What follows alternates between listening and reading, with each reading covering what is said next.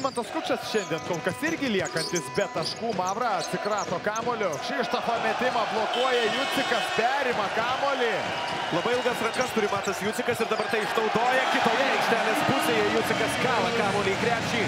Klaipėdos Neptūnos ir Galėms. Galimybė bent šiek tiek pasidžiaugti čia blokas. Kšištofui Lavrinovičiui Matas Jucikas suvaldo kamolį. Jie atiduoda ten komandos draugui ir gauna perdavimą atgal.